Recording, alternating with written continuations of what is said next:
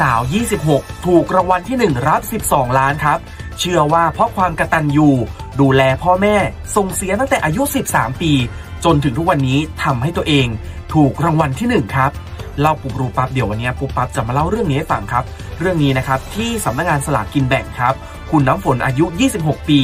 เดินทางมาขึ้นเงินพร้อมกับลอตเตอรี่ 2 ใบครับที่ถูกรางวัลที่ 1 คุณน้ำฝนเนี่ยเล่าให้ฟังว่าตัวเองเนี่ยได้ไปซื้อลอตเตอรี่ ในวันที่ 1 กันยายนที่ผ่านมานี่แหละครับ ก่อนหวยออกเลย ซื้อมา2ใบปกติก็ไม่ค่อยซื้อลอตเตอรี่บ่อยนะครับ แต่ไม่รู้ว่าอะไรดนใจหรือเทวดาหยิบให้ครับทำให้ตัวเองเนี่ยซื้อลอตเตอรี่ไปแล้วก็ถูกขึ้นมาครับซึ่งที่ผ่านมาเนี่ยก็ไม่คิดไม่ฝันนะครับว่าตัวเองจะถูกรางวัลที่ 1 ก็ได้แต่นั่งคิดนะครับว่าเอ๊ะเวลานั่งรถผ่าน โครงการหมู่บ้านต่างๆ เห็นสวยดีทำยังไงจะมีเงินซื้อ แต่ชีวิตที่ผ่านมาก็ยากจน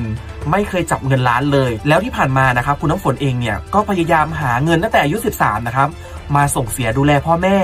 ส่งให้เดือนหนึ่ง7,000 8,000 เพื่อให้พ่อแม่ได้อยู่สบาย คุณน้ำฝนบอกว่าตัวเองอดตัวเองไม่มีเนี่ยไม่เป็นไร แต่พ่อแม่อดพ่อแม่ไม่มีไม่ได้ ก็เลยเชื่อว่า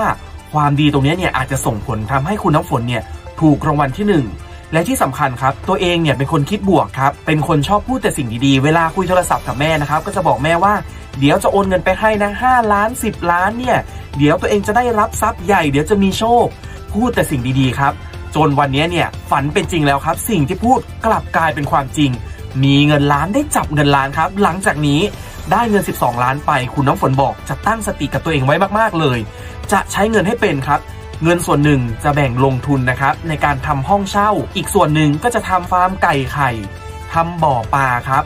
แล้วที่สำคัญนะครับคุณน้ำฝนเนี่ยจะเอาเงินให้กับพ่อกับแม่หมดเลยครับเพราะบอกว่าตัวเองเนี่ยยังหาเงินได้คุณน้ำฝนก็ฝากบอกเลยนะครับว่าถ้าอยากถูกหวยเนี่ยลองคิดดีทำดีนะครับเผื่อวันหนึ่งความฝันสิ่งที่เราคิดเนี่ยจะได้เป็นจริงแบบคุณน้ำฝนครับ